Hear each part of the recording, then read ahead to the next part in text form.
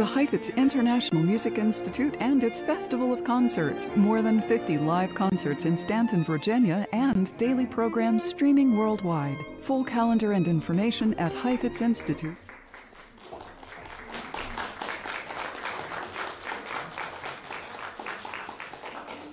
Good afternoon, everyone, and welcome to Junior Division Showcase number six from the Heifetz International Music Institute. This is our Junior Division Showcase number six. And I want to pause on that number for a second, which just underscores something that we've been talking about here for some of our recent concerts. We have 60 students enrolled in our junior division here at the Heifetz Institute, and we have never had six concerts by the time the second week rolled around. We usually be on about our second one. Uh, but we really are, uh, we have an extraordinarily talented group of students here uh, who have so much artistry and so much talent to share with you that uh, we've actually been able to hold right now our sixth concert um, of the summer, and we're not finished yet. So I'm thrilled to have you all with us, either here at the South Market stage at Grace Christian School in the heart of historic downtown Staunton, Virginia, and also those of you aunts and uncles and cousins and grandpas and grandmas and little siblings and older siblings and parents all watching us on YouTube and on Facebook Live. Great to have you along for an afternoon of some wonderful solo performances by our students in our junior division.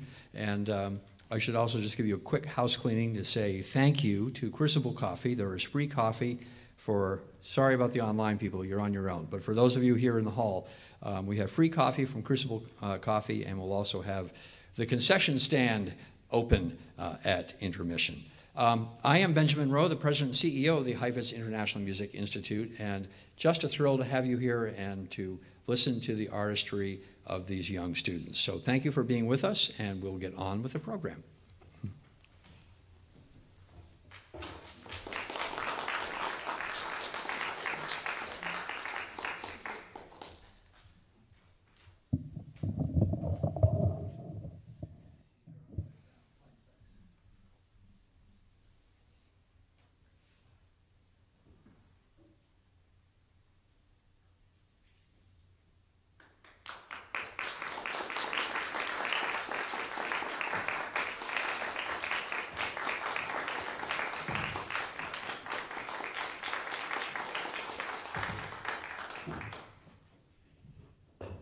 Good afternoon. My name is Brian Mandigo, and, I, and I'm a 10 year old cellist from New York City. I, re, I will be performing the first movement of the Concerto in C minor by J.C. Bach with my pianist Elizabeth Hill. The piece was not actually written by J.C. Bach, but it was written by Henry Casadesus. The, re, the reason that people think it was by J.C. Bach is because Henry Casadesus wanted to write it in the style of J.C. Bach. What I like about this piece is the amount of energy that it has in it, and I like performing it with that energy. I hope that I will be able to portray this energy through my performance, and I, and I hope that you will feel it.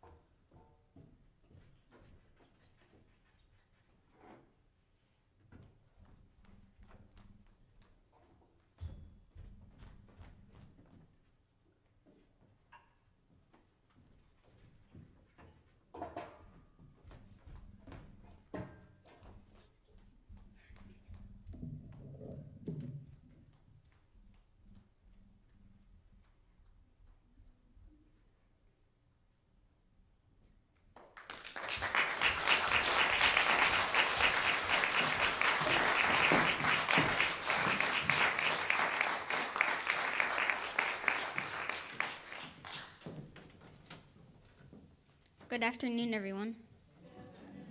My name is James Post, and I'm an 11 year old violinist from Arlington, Virginia.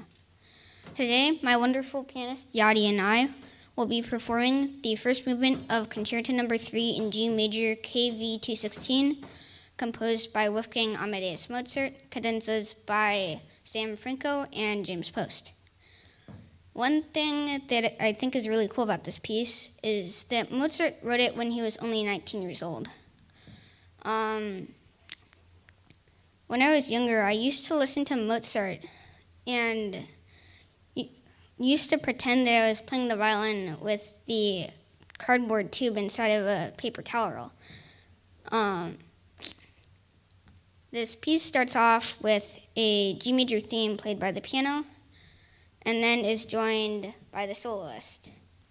This theme is bright and happy, a bright and happy discussion between the solo violin and piano. Uh, one thing I really like about this piece is how playful it is, and I hope to convey that playfulness to you today now that I'm playing with a real bow. Thank you.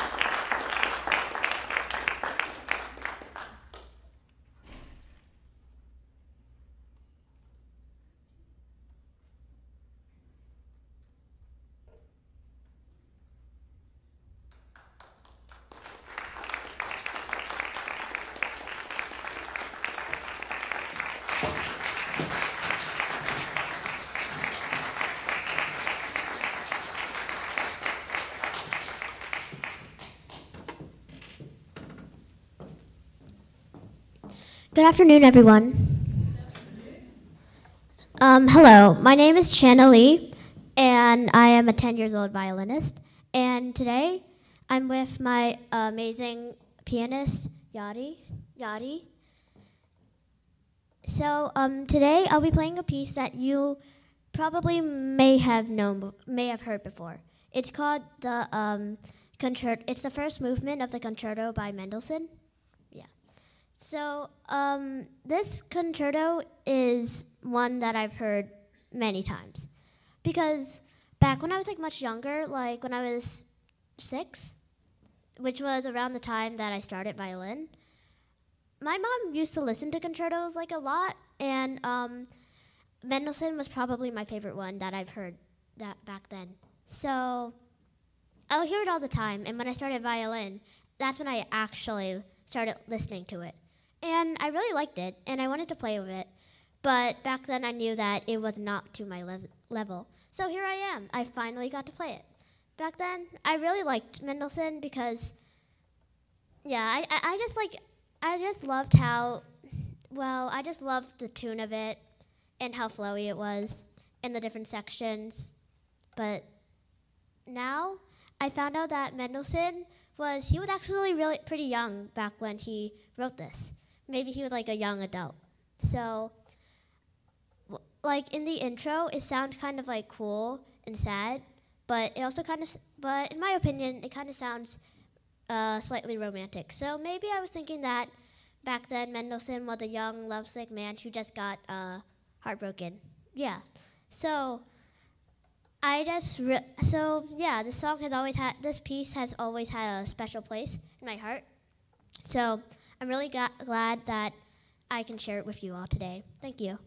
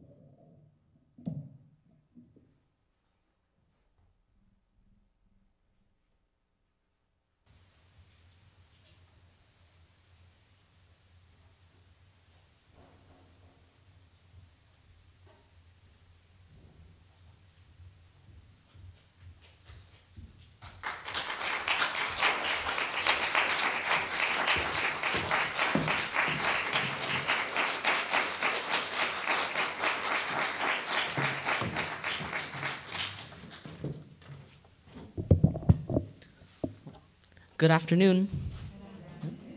My name is Yixuan Li, and I am a 13 year old violinist from Rockville, Maryland. Today, with my wonderful pianist, Dr. Lin, I will be playing the second movement of the Violin Concerto Number 1 in G minor by Max Bruch. This concerto was initially composed in 1866, but underwent revision with the great help of the renowned violinist Joseph Joachim, leading to its completion in 1867. Throughout the performance, you will be able to hear the beautiful melodies and like lush themes flowing seamlessly. I am thrilled to perform this beautiful piece to y'all today. Thank you.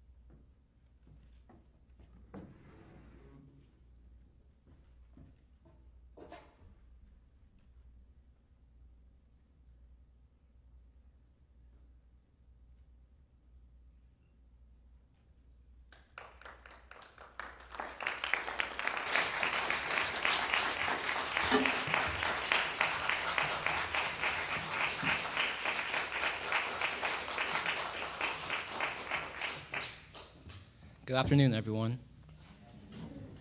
My name is Ethan Lo. I'm a 14 year old cellist from Georgia. Um, today, I'll be performing the fourth movement of the Cello Concerto in E minor by Edward Elgar with my amazing pianist, Iris Hsu. With the aftermath of the First World War and the, a fatally ill wife, Elgar incorporated um, the somber and depressing atmosphere felt in the music. It is almost as if there is a long, dark tunnel with no end to it, and someone is trapped inside of it um, with all their life struggles, and they can never escape, yet they have enough resilience to keep moving forward. Um, today, I plan on portraying this um, rich and passionate story to you all. Thank you.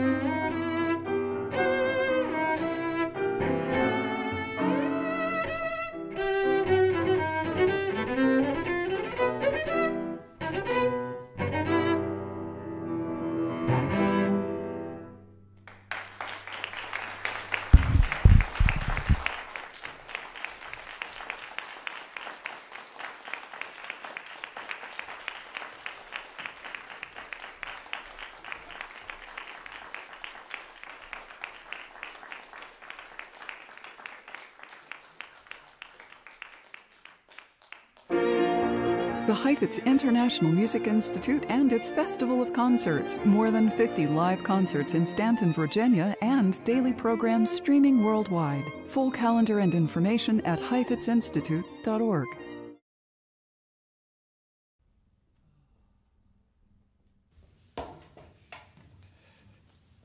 Okay, we're on for the second half of our program here for our Junior Division Showcase 6. You know, things move pretty quickly around here in Heifetz land, and uh, since this morning, for some of you who are here, uh, if you look carefully on the back of your program, you might notice that another concert has just popped up. Um, we're now heading into our final week of the Heifetz International Music Institute for summer 2023 which means that there is a groaning board of students who are uh, eager to perform uh, one final time here at the Institute, both in our junior and senior divisions. So uh, we actually now have an even dozen performances remaining uh, before we say goodbye to Heifetz 2023, uh, including, of course, our final hootenanny of the season tonight on Page Terrace on the Mary Baldwin University campus. And then tomorrow, the Sunday matinee, uh, which will include a wonderful performance of the Poème by Chausson, one of the wonderful kind of epic violin journeys. And then on Monday, our regular Stars of Tomorrow, and on Tuesday, a bonus Stars of Tomorrow. So we will actually have concerts next week in Francis Auditorium on Monday, Tuesday, and Wednesday, uh, all Stars of Tomorrow concerts. And then Thursday, two concerts. Our Junior Division Showcase number seven will be right back here in the South Market stage at 1 o'clock. That's another concert that's absolutely free. And Thursday evening will be our um, Heifetz Chamber Music Showcase number five, which will feature two of the three groups that are in our chamber music seminar complete performances of the Shostakovich String Quartet number three and the Brahms String Quartet number one. Uh, that should be a fantastic performance. I think it's the first one. It might be the third one. I have to check check my fact check that one. Anyway, great quartet by Brahms and by Shostakovich on Thursday, and then on Friday our final gallery concert of chamber music and our final celebrity series concert. You might have also noticed that we're doing a run out to the Crozet Public Library uh, next Thursday.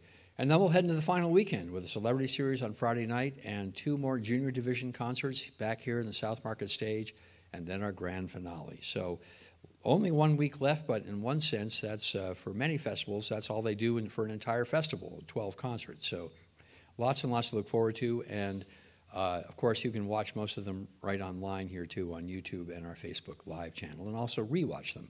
So, so much great music ahead, so many great, talented young students here with us and I'm eager to hear more in our second half. So thanks for being with us.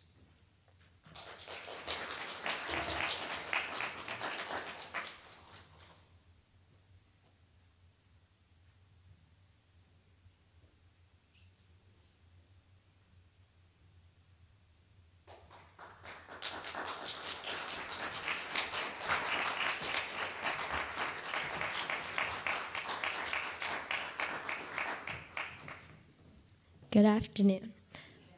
My name is Jeanne Park, and I'm a 15 year old violinist from Sammamish, Washington.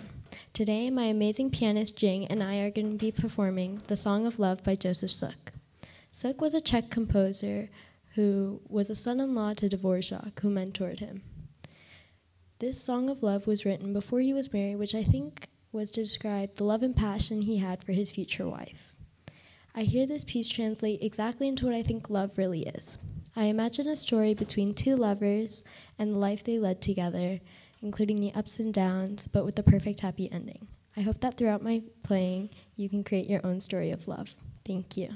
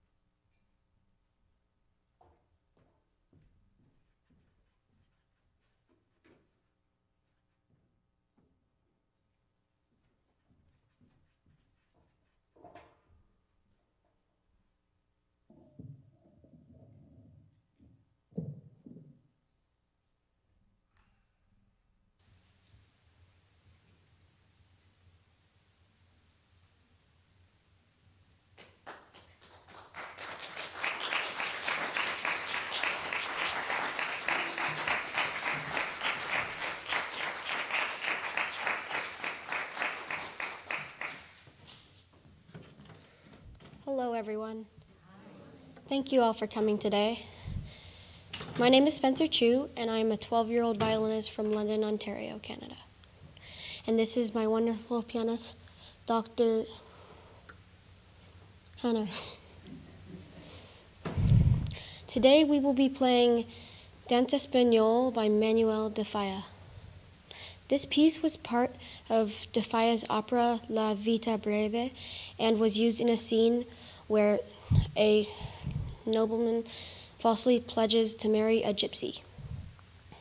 When I play this piece, I think about flamenco dancers and their castanets and how they combine the clicks of the castanets with their dancing to create such an amazing piece of art. This piece was later arranged by Kreisler, and I think you can hear his virtuosic approach to the violin along with de Falla's bold Spanish characteristics. Thank you.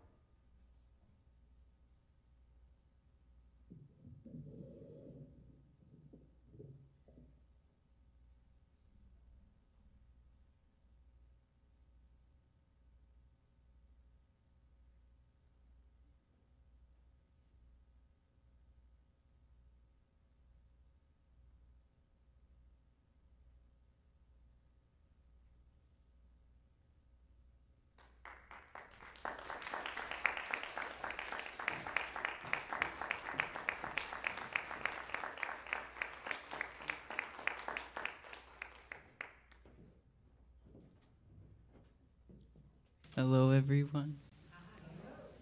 My name is Jiles Defosse, and I'm a 13 year old violinist from Annapolis, Maryland. Today, Hsiao-Ying and I will be performing for you the first movement of Symphony Espagnole by Lalo.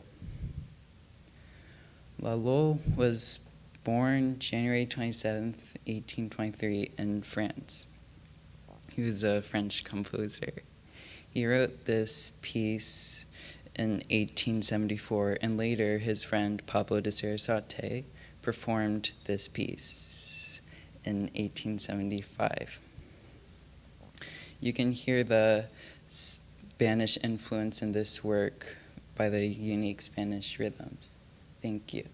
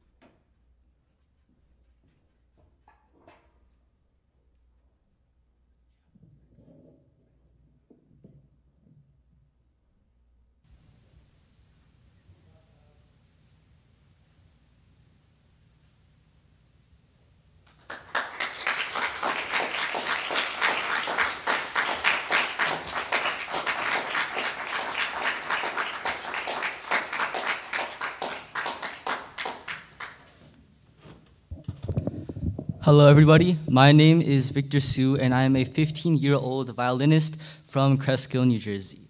And today, my amazing pianist, Dr. Hanner, and I will be performing for you the first movement of the Violin Concerto Number no. 3 in B minor by Camille Saint-Saëns.